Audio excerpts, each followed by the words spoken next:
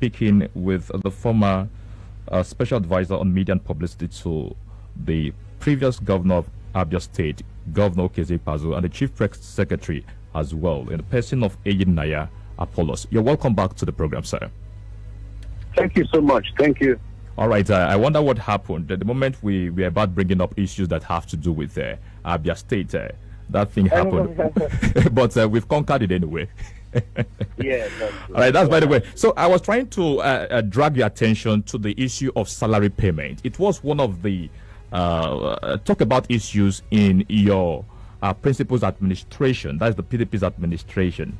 But mm-hmm. yeah, a few days ago, the local government workers protested on payment of salary, even under the current administration of Governor Alex Otti. I believe something has been done about that because as of yesterday we heard about uh, uh, the rain of salary that fell. I don't know about that. So, what's your reaction on this particular one? Well, well, the issue of salary payments and workers agitating for their salary will, will be a continuous issue and agitation as far as government and governance in Nigeria is concerned. It is not uh, particularly uh, a problem of any particular regime or any particular system. Unfortunately, when we were there, the people who are there today didn't think uh, it, it's uh, it's going to be their turn. Uh, when we were there, they were making all kinds of politics about it. Unfortunately, today it's their turn, and uh, the same cry is still there. But what I want to say is that, uh, yes, as much as it is the right of a worker to get his way, sometimes there may be issues that may not, that may affect uh, um, payment of salary as at ONG and all that. I'm not trying to hold bill for the government. Mm. But in the case of this government, I think they should not even have any reason now not to pay because, like I said earlier, the removal of subsidy has increased the allocation for the three tiers of government they getting more money now than we ever had. Uh, so, um, much as I do not really know exactly what they are giving as their own excuses for why they are not being able to pay salaries, but I know that they have more money now.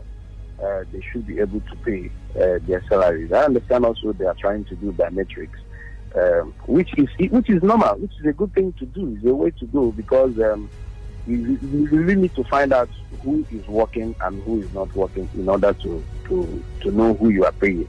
But again, like the argument has been put out there, um, if you are doing biometrics, please follow the due process that it should be so that you don't offend certain workers.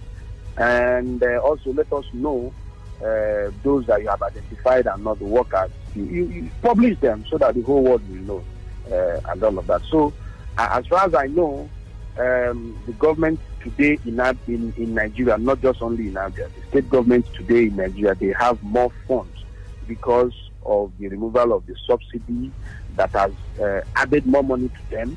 So they have, the governors and the state government have more money now to pay as much as they, they should be able to pay workers' salary. Right, uh, talking about uh, publishing the identified ghost workers, uh, do you see that to be a problem? Yes, it is. Uh, it should. It's a normal thing. If you have identified something wrong, if you have identified that someone has been a particular identity or individual, quote and unquote, has been taking salary and is not a worker, publish that person. Or are you just trying to identify ghost workers? Are they not supposed to be punished? Or whoever, somebody must have been taking uh, that money. Because I know that in our administration, we were not paying salaries by hand. They were all being paid through the bank. Assuming that somebody uh, has has used is taking double salary with accounts. There is BVN there now to identify the person. If you find out, for instance, that any Neapolis was taking three, four salaries from different places in government, please punish me. Tell the whole world that in our exercise in Ministry A, we've been able to identify out of 20 workers, according to what the ministry says is what is taking salary. Out of 20, only 15 are real workers.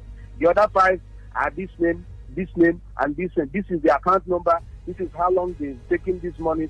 They should make they should they should refund the money uh, to the government. So if you if you have not done that, you have not concluded your exercise.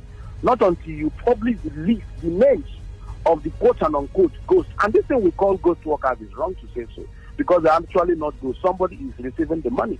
The money is being paid into an account. someone is the owner of that account.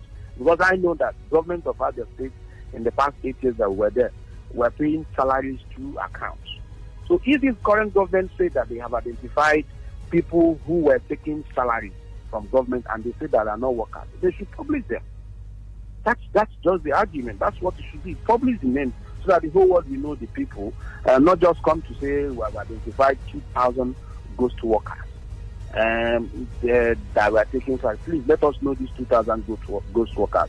Let us also know how much they were taking and for how long they've taken those amounts so that we now know what is supposed to be coming back to the state coffers going forward. And if we are if we are going to prosecute them, let us prosecute them for taking uh, money when they are not working. I think for me, that's my own opinion. It's enough to say uh, you have um, identified ghost workers. And like I said, I, I don't appreciate what we call it ghost workers. Let us find the real thieves, the people who were taking money from government for not working. All right, uh, an ugly incident occurred on Tuesday in Aba precisely, where the convoy of the Commissioner of Trade, Commerce and Investment was attacked in Aba. And then, unfortunately, two policemen were gunned down. But as a result of that particular one, there's been this face-off between security operatives and traders within that particular axis. What is your reaction to uh, this one. Though the governor was there yesterday, of course, I was there also to see uh, things for myself. Um, I, I, was a little bit taken aback when I read the police report uh, saying, talking about the convoy of the commissioner. I, I now started wondering, the commissioner in Abia now having a convoy that, uh, uh, contrary to what the government today in the state talked about running, um, um, reducing cost of government. The fact that the commissioner is using convoy is something that Abians should also ask. Uh, that said, it is unfortunate that that incident happened. Um, I, I, wouldn't know why anybody would want to attack a public a public officer, uh, a commissioner for that matter. I wouldn't know why. I wouldn't know. Like the police said, because I read carefully the report of the police, they said they were going to conduct investigation. The, the police were detailed in their in their report or in their release, uh, where they told us the police officer that died, the one that, that is attached to the commissioner, and the other officer that's not attached to the commissioner. So let us not think that both police, police officers were attached to the commissioner. They also went further to talk about government vehicle being burned. That's where I became, personally, I became worried because government vehicle is easy to identify. The, government healers must have a government number plate or maybe a government uh, inscription on it but however, whatever the situation, the police say the police and the government say they are investigating. We, we really want them to go go full detail into the investigation and bring the corporate to book. It's unfortunate that that happened, and um, two beautiful souls, Nigerians, were killed in the process. Those who are serving the country as law enforcement agency, they, they were killed in the process. It's quite unfortunate. I commiserate with their families. I also commiserate with the commissioner for the attack, and also commiserate with the government and also to our people in Aba who also had to suffer the reprisal uh, because the law enforcement agents went overboard when they were destroying. I saw videos of, of uh, Keke people being destroyed. Something that happened at Samek uh, while coming to Brass Junction to destroy Keke, destroy people's businesses, shut down people's businesses. That wasn't too fine. I understand that the police, the, the, security agencies were reacting to the fact that uh, one or two of them were killed, but at the same time, um, that shouldn't have caused the kind of reprisal that we saw. Uh, it's also fine that the governor eventually visited there yesterday. I saw that also. He visited the market and uh, uh, called on them to quell the situation, kind of, and uh, ask for, for businesses to resume, for people to go about their businesses. But please, we really want to know what what would have caused the attack on the commissioner, and that that is the commissioner for trade and commerce whose major brief is around the market. And these incidents happen around the market too. So please, I, I hope the commissioner, uh, sorry, the government and the police, the law enforcement agency in Abia will um, will do do us a favor to get into details of this uh, unfortunate uh, incident and ensure that it doesn't, whatever may be the cause, doesn't uh, happen again. And those, exactly those behind it, should not be allowed to go free uh, they should be made to face the book because uh, uh, attacking a government official is quite unfortunate that uh, that that happened. But like I said, it, it, was worrisome to me that the commissioner in Abia has a convoy, uh, contrary to what we were told at the beginning of their government. Anyway.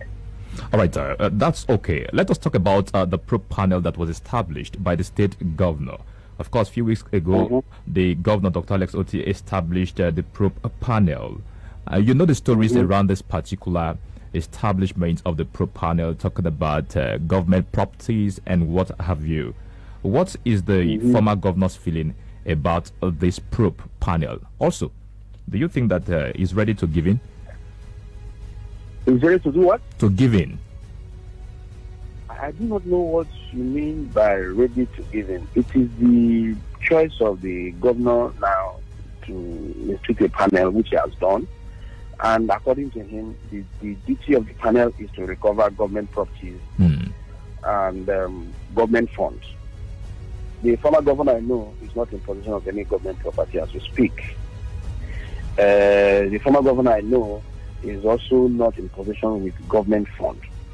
As I know, um, the, the, the, panel is there to do their job. If there are people who uh, who are in possession of government properties and government funds, it is the duty of the panel to call them, invite them, and let them explain why the properties of government are in their possession, and also why government funds are in their own possession. Uh, I think the former governor is not bothered about that. He, in his usual manner, he also allowed them to, to do their job uh, as far as they know. We all want a prosperous Abia. We want, we want a better Abia.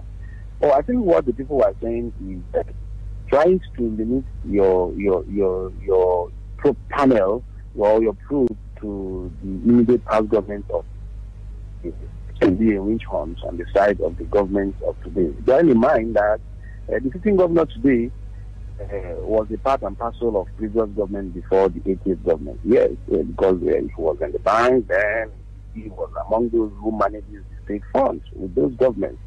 So why not begin the probe where, if you really want to get back what belongs to Abia, why not begin the probe uh, from from then that he was part of the government? Unfortunately, he wouldn't want to do that. Uh, but that's fine. Dr. Kezi Oazi is available. I'm sure you know that since he left office, he's been he's been in his village in. That's where he lives. Of course, Dr. Kezi Oazi does not house there. We are around that just in, So he's very available. Should anybody who wants to uh, invite or sit in for any classification, I'm sure he's very much around. So it's only the choice of the government to stay in Abia, whoever they want to prove, and all of that. But I, personally, I see Leah follows.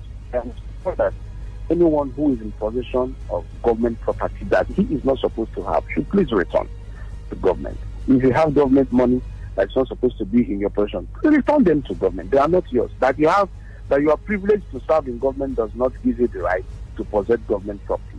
It's public property that belongs to everyone. So I think that, for me, I, have no issues with that. I also think that the former governor has no issues with the panel and whatever they are doing, so long as they will not appear to be witch hunts or whatever. It's, they are free. It's not the first time we are hearing of uh, panels in Nigeria and all of that. Maybe this may be the first time we are hearing of it in Abia. But it's a welcome development. Something must start someday. Generally, um, we, we they are welcome to do their, their bidding. They are welcome to do the, the whatever they want to do. And I also think that Governor Kezipa as a former is also ready and available to answer to his stewardship, to his 80th stewardship to Ndabia. All right, uh, let us move on and away from that particular one. The cases uh, at the tribunal involving the PDP and the state government. Can we have your reaction on these two? Well, I think that matter is before the court. I don't think it will be it will be right for me, bearing in mind that uh, I, I, am a party in that matter. I'm party in the sense that I'm a member of the PDP and my my party is in court.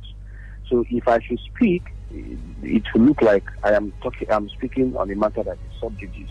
But if you allow me to speak as a freelance journalist that I am today, I will simply say that uh, it's a welcome development that Nigerians people are allowed to go to the court to to express whatever grievances they may have.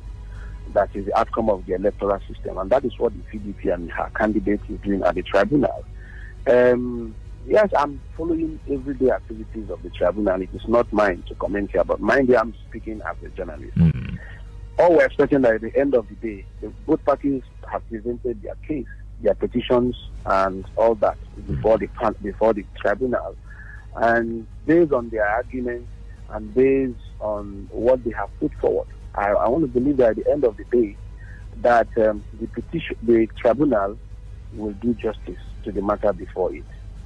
Uh, because part of what Nigerians will want is a, a, system that will work for all of us. Most of the times after every election, you see people go to court. It's because they feel aggrieved or they feel shortchanged. And for eight years we were in government, we were always being taken to court by the current governor. It was his right then. So nobody should also deny anybody his right today to go to court to challenge a process that he or she feels uh, didn't go down well with him. So for, for now, uh, because uh, the matter is still before the uh, tribunal, and uh, that's all that I want to say that let the, let let allow the, the, the, tribunal to do its job.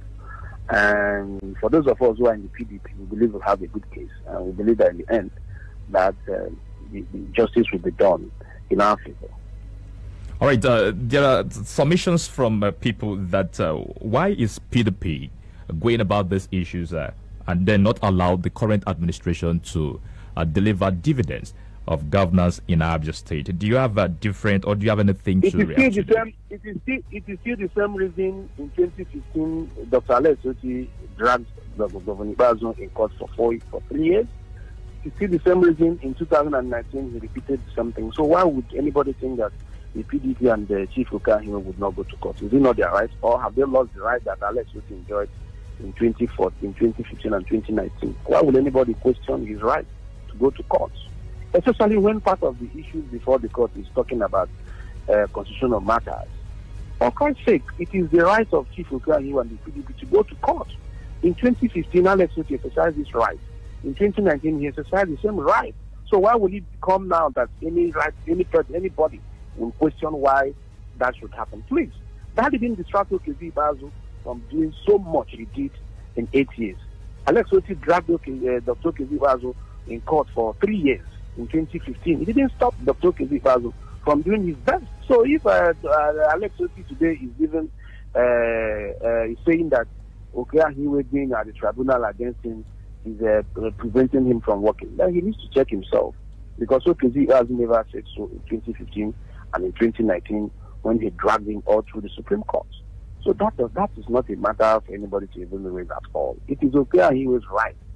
So also it is uh, the PDP's right as a political party because uh, uh, Governor Alex Otti in 2015 and in 2019, like I have repeatedly said here, with his party were in court also to challenge a process that felt that they felt were not in their favor. And in the end, the court ruled against them. So let let them also allow Dr. Kanhiwa and the PDP to exercise their rights mm. so that in the end, the court will also rule either in favor or not in their favor. So nobody should raise that issue at all. it, it, it is like they are trying to stampede on people's rights, which appears exactly to be what uh, what has been what Abians have been experiencing. Uh, nobody should trample on any other person's rights, and nobody should talk down on anybody. It's quite unfortunate also that people don't understand what uh, right of others are. You can't stop somebody from exercising or speaking up his rights mm. or exercising his rights. No, it's not done anywhere. Not even now will it happen. So the, the matter should go on. Anybody who feels aggrieved should go to court. You know, that, I mean, you shouldn't stop anybody from going to court, please. All right, uh, uh, the program is uh, quite uh, interactive. Very shortly, we'll make open our phone lines for uh, listener to call in so that we have their own position on the issues we are discussing this morning. No, no problem. All right, no but problem. before that, at this point, uh, uh, let us touch on your party. Talking about the PDP, the PDP today mm-hmm. placed the opposition in the state. What is the future mm-hmm. of PDP after the election? Uh, uh, this is not the first time PDP is in the opposition in Abia. We remind you that in 2007, Mm. The PDP was in the opposition in Abia. Uh, before 2011, PDP, before the 2011 election, PDP regained uh, the position. So it was a brief. PDP has always been in opposition briefly in Abia. So this is the second time PDP is going to is in the opposition in Abia, so to say. Uh, the party is intact, more intact than any other political party today in Abia. Um, those who are in government today in Abia are not as intact as the PDP. The PDP is in court almost in all fronts, from the governorship and to the other elections. So you don't expect much to happen to the party now. Mm. Because the party wouldn't want to divide its attention from what is happening at the tribunal. But as for being intact, the party is intact. Remind you that PDP is the only party in Abia that has a structure from from the state down to the ward level. Uh, for me, I'm from Ward 3 in Obinwa. I know I'm in touch with my party and my party leaders. We have uh, our platforms where we interact every development that is going on around our party. I'm sure other people in other wards also have theirs. So we don't necessarily expect to see us gather at the party secretariat to meet. We are meeting virtually every day through our various uh, WhatsApp platforms and other communication channels Mm. where we are interacting and um, um, um, reviewing issues, uh, hoping that things will turn around very soon and we regain our position as the ruling party in the state. So the party is, is fine, it's doing well. You, you, you see that the, the party at the state level uh, has been responding to issues that they all need to respond to. And um, even at the ward level, they all responding to issues that uh, they are supposed to respond to. So the party is fine, it's doing fine. Uh, like I said, hoping that uh, our brief stay in the opposition will uh, teach us some good lessons so that if there are things that we didn't do well that may have cost us going into opposition, that when we get back to power, we will correct them. So for now, PDP is fine in Abia. All right, if that is the case, uh, in Abia State today, I do not know if you have been listening. Uh, there are persons who would see you to be an enemy the moment you mention PDP. Firstly, Naya, what is your reaction to this impression? Secondly, what It is- does it it- is portend? what, is, what does it it is portend of your party in the state? No, it's not just my party. It is unfortunate that people don't understand what the rights of the other individual is or are. That is that is what is responsible for that. Because, for instance, Moses, you have a choice to belong to an organization you want. I shouldn't question you. It is also your choice to defend your choice and duty to defend whatever organization you belong to. In my family, not every members of my family are members of the PDP. And I don't I don't bother about what they do in their party. They also should not bother about what I do in my party. I it is it, I, whenever I want to talk about my party, it is my duty, and I'm talking about my party on my own expense. It is unfortunate that somebody will see you trying to propagate uh, your party, trying to defend your party, and he, he now sees you as an enemy of the state. When we were in government, we never saw those in the opposition as enemy of, our, of, of the state. No. Uh, Dr. Dodipa in his position, we are welcoming to everybody. He didn't dis- dis- discriminate against anybody. All right, uh, al- All right, uh, Naya, should uh, let us open the phone lines at this point so that we get uh, please uh, the reaction of our listener this morning 0808 182 6949 0811 605 2949. It's been the program The Abia Democrats, where everything is democracy. Keep the calls coming at this point. Good morning. Hello. You're welcome. Your name and location, please. Good morning, Mr. Ben. My name is uh, Mr. Chijoke. I'm calling from Edero Jumaya. All right. Uh, uh, I want to say I that can't, I can't uh, hear who is talking. All right, just listen, I please. said I said Chijoke from Benderod, Umuahia. Can you hear me now? I can hear Chijoke from Ben the Road. Chijoke, welcome. Ye- Thank you, sir. I want to say that uh, the uh, issue about Alex Otti going to court during uh, 2015 is about the issue of a stolen mandate And you cannot combine stolen mandate with the mandate of uh. The 2015 election is a well-known election that was conducted in a fraudulent manner and manner. So I want to say that uh, has every right to fight for his mandate that time. All right. Now, okay, Chijoke, okay, thank you. Is, okay, okay, Anyiwe is fighting the mandate of Alliance, and nobody is begging him. No, but we are not afraid of him. Let the PDP go to court, and at the end, to end in praise. Thank you. All right, thank you. Ejenaya, I will allow you to react to it, but let us uh, keep taking calls at this point. Welcome to the program. Uh, good morning. Good morning, Mr. welcome. Ben. Your name and location, please. Who say man know this the name I'm calling from where? Good morning, Mr. Inya Palos. Good morning, oh. Okay, please, uh, I want to appreciate you for coming to enlighten us, and this is politics. Um, PDP is a family, is a stronghold. All those things you said, when our current government, our governor, were in the other side uh, of the, uh, when LKZ passed and other PDP organization, they, they criticized the PDP government. Most of those things that I are saying, when I do tell people that talk is very cheap, if you look at it, when you are not, if you look at it, if they put you there, you say, I'm not saying that he has not, but there are some areas that Mr. Government, uh, Mr. Governor and the, uh, his administration has gotten it wrong. The issue of uh, holding um, um, um, uh, salaries of uh, uh, um, um, uh, local government workers, except that they threaten to go on strike before you release the money. Nobody stops you from, as in doing verification.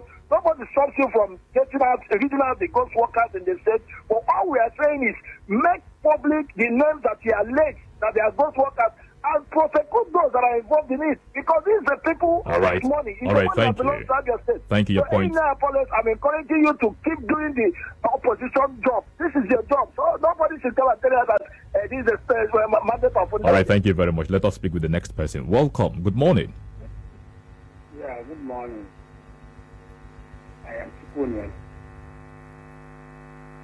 Uh, I want to tell uh, you, uh, this is uh, listen that uh, okay, uh, I can barely hear this caller. All right, uh, please uh, do well to redial the number. We could not uh, hear you clearly. Uh, remember that this is uh, the Abia Democrats. Keep the cross coming at this point 0808182269. Moses, Moses, Moses, please kindly permit me to, to respond to the two callers. Uh, l- all, let, let, let us just take this call while you add it up and then uh, give your reaction. Hello, good morning and welcome. Yeah, good morning. Your name and location, please. Yeah. Uh, my name is Chris. I'm calling from Port Harcourt. Hello? All right, go ahead, please. Yeah. Yeah, good morning. Uh, good morning, please. We are with good morning. you. Good morning. This is The caller from Station. Port Harcourt, Good morning.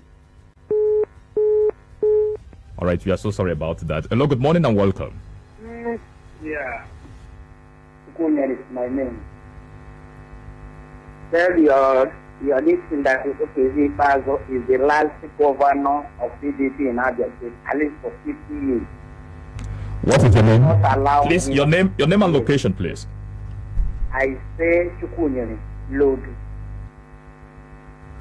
Isi Bazo is the last governor in Abia State from PDP, at least for 50 years.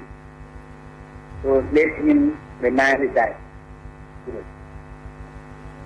All right, thank you for uh, your contribution. All right, Eyina, over to you. Let us allow you to react to the ones we've okay, gathered. th- thank you, thank you so much. Mm. Um, Moses, like, like the first caller, he was so uh, so arrogant in his comments, saying what he does not know. If the matter had gone from the tribunal all through to the Supreme Court, and the Supreme Court upheld the election of Governor Demibaz in 2015, why would anybody come to talk about a stolen mandate? Uh, it, it, you see that unfortunate uh, comments you hear from people who cannot tolerate the view of others.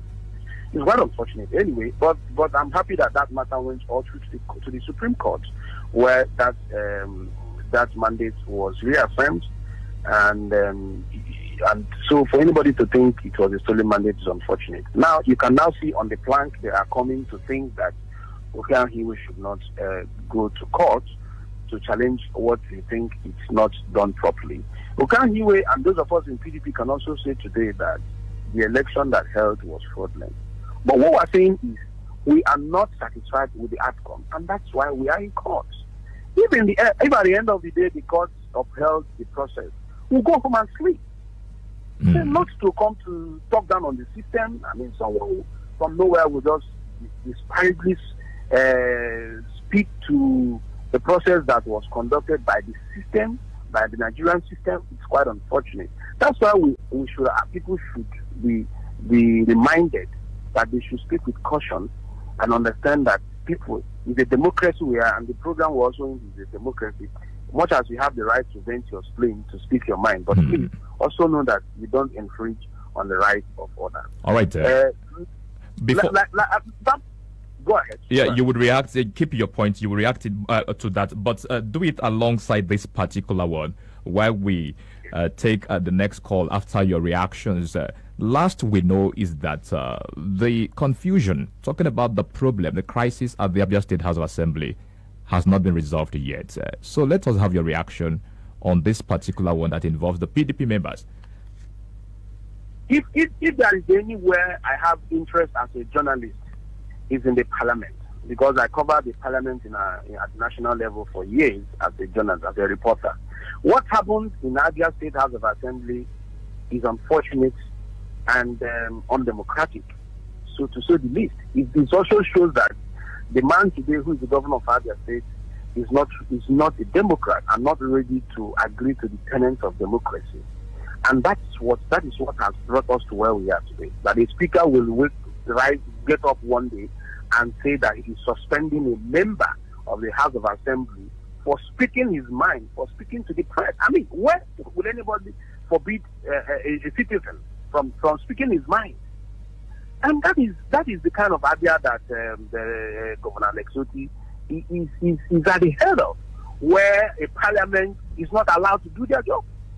Do you understand? Where you have a minority becoming the majority. Mm. It doesn't bother. It doesn't matter whether you whether you are the the governor or not. We had it in the National Assembly uh, when we had a PDP government and had uh, uh, uh, the other way. So the point is that what is happening in Abia State House of is unfortunate. It's actually presenting Abia as an undemocratic place because the actual uh, organ of government that the democracy is the House of Assembly is the Parliament, not even the judiciary and the executive. It is legislature. For a situation where the legislature in Abia has been hijacked, you have uh, a speaker who is who is incompetent. There's no other word to use to, to say it because you can't wake up and uh, there's no motion. There's nothing to to no member. A member has not been subjected to any disciplinary whatever, and you say you are suspending him. What is the offense? Because he, he addressed the press. He granted the press interview. And what did he say to the press? He is saying,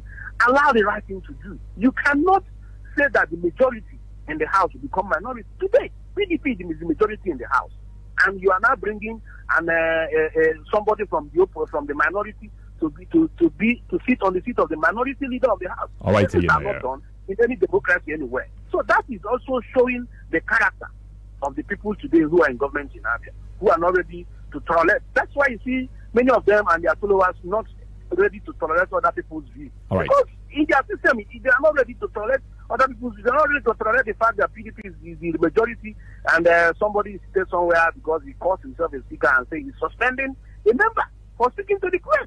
I mean, it's unfortunate. He's not ahead of anywhere in the world.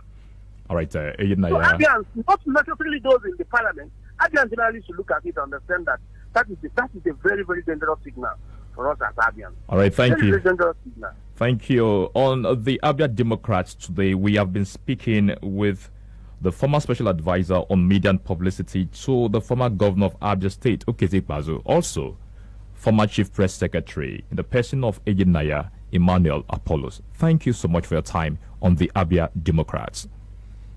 Thank you so much, sir. All right, uh, let us do this again. Remember that the program X-rays uh, burning issues and matters uh, that take place in Abia State and in Nigeria generally. My name is Moses Ben. Thank you so much for your time. Good morning.